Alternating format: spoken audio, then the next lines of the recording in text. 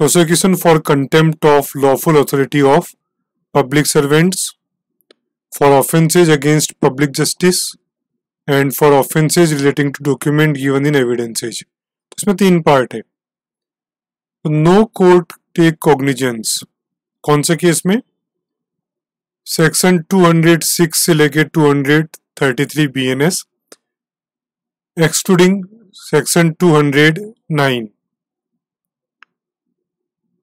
ये जो भी कॉग्निजेंस होगा, यदि लेना होगा कोर्ट को तो पब्लिक सर्वेंट की कंप्लेंट पे ही लेगा।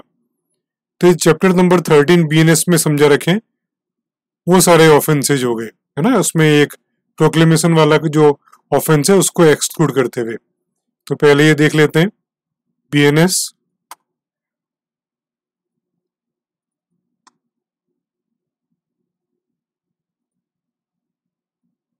तो chapter thirteen of contempts of the lawful authority of public servants 206 से 226 इसमें आप देख पा रहे हैं जो ऑफेंसेज हैं, जैसे सम्मन नहीं लेना 206 में absconding to avoid service of सम्मन और अदर प्रोसीडिंग या 212 में क्या रखा है फर्निशिंग फॉल्स इंफॉर्मेशन या refusing to sign statement false information देना। Resistance to taking the property by lawful authority of public servant illegal purchase of bid for property offered for sale by authority of public servant threat और injury to public servant 225 में threat of injury to induce person to refrain from applying for protection to public servant तो ये chapter number 13 के अंदर ये जो offences दे रखे हैं तो पब्लिक सर्वेंट की कंप्लेंट पे ही कोर्ट कोग्निजेंस ले सकता है। केवल 209 को छोड़ के। 209 में दे रखा है non appearance in response to proclamation under section 84 of Bharatiya Nagarik Suraksha Samhita.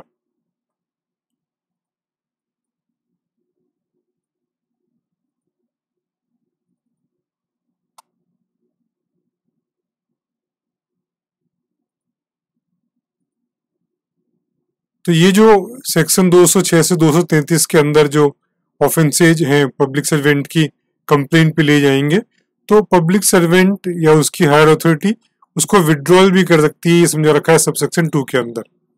Cognizance नहीं लिया जाएगा ये समझा रखा है सबसेक्शन वन में। इसमें चार सबसेक्शन है तो दो में ये समझा रखा है। ऐसे ही सबसेक्शन वन के अंदर पार्ट बी में सेक्शन 229, 233 236, 237, 248, 248 और 267 तो चैप्टर 14 बीएनएस के अंदर जो ऑफेंसेस दे रखे हैं उनमें भी डायरेक्ट कोग्निजेंस नहीं ले सकते।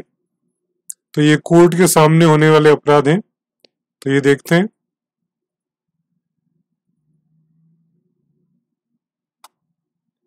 तो चैप्टर नंबर 14 के अंदर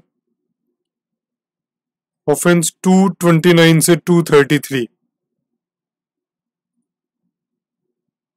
पनिशमेंट फॉर फॉल्स एविडेंस तो फॉल्स एविडेंस वाले हैं तो 299 से 233 233 में देखा using evidence known to be false तो फॉल्स एविडेंस के जो अपराध हैं, जो कोर्ट में फॉल्स एविडेंस दिया है तो कोर्ट ही उनको जब दायर करेगा, तभी कोर्ट तभी कोर्ट के अंदर केस चल सकता है। मतलब कोई दूसरा जनरल आदमी उसको केस नहीं चला सकता। ऐसे ही 236, 237 फॉल्स स्टेटमेंट से related offences 237 using as true such declaration knowing it to be false ऐसे 242 से 248 false personation for purpose to act और proceeding in suit of prosecution कोई दूसरे आदमी की पहचान बन के अपने आप को वहाँ पे रखना। 244 fraudulent claim to property to prevent its seizure 247 fraudulently obtained decree from for some not due पैसा कोई ड्यू नहीं था लेकिन फिर भी डिक्री ले ली ऐसे 267 intentional insult or interruption of public servant sitting in judicial proceeding कोई पब्लिक सर्वेंट जो जुडिशल प्रोसीडिंग में बैठा है मजिस्ट्रेट है उसकी उसको इंटरप्ट करना या इंसल्ट करना तो ये भी कोर्ट के सामने होने वाले अपराध हैं। तो कोर्ट ही इस मैटर के अंदर एक्ट करेगा। कोर्ट या उसकी अथॉरिटी कोई एक्ट करेगी तभी वो केस चलेंगे।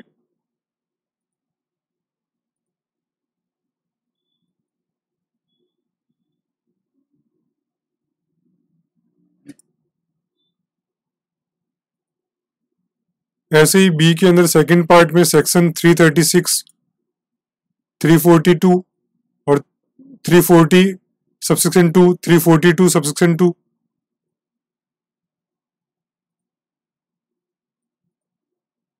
तो ये जो अपराध है ये कोर्ट के सामने जब कंप्लेन कोर्ट कंप्लेन करेगा तभी जाएगी।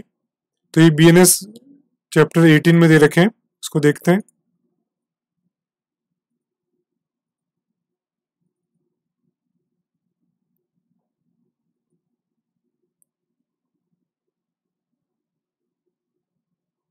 थ्री थर्टी सिक्स के अंदर फोर्जरी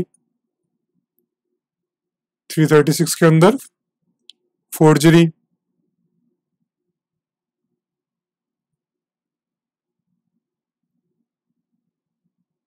और ऐसे ही 340 और 342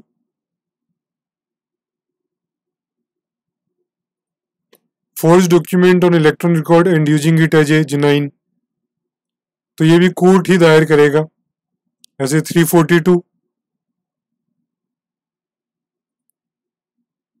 काउंटरफेटिंग डिवाइस और mark use for authenticating documents described in section 338 और पजेसिंग काउंटरफेट मार्क्ड मटेरियल तो किसी डिवाइस को, किसी डॉक्यूमेंट को ऑथेंटिक बनाने के लिए कोई मार्क कोई सील वगैरह काम में ली, उसके बारे में जो अपराध है, वो भी कोर्ट ही दायर करेगा। तभी प्रोसीडिंग स्टार्ट होगी।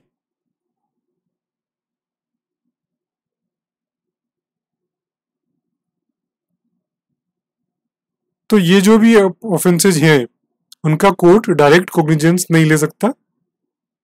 पब्लिक सर्वेंट या कोर्ट ही उनको दायर करेगा तभी वो केस चल सकते हैं। तो यहाँ कोर्ट का मतलब केवल क्रिमिनल कोर्ट से नहीं है सिविल कोर्ट भी हो सकता है क्रिमिनल भी हो सकता है रेवेन्यू या किसी एक्ट के लिए जो ट्रिब्यूनल बना है, वो भी हो सकता है।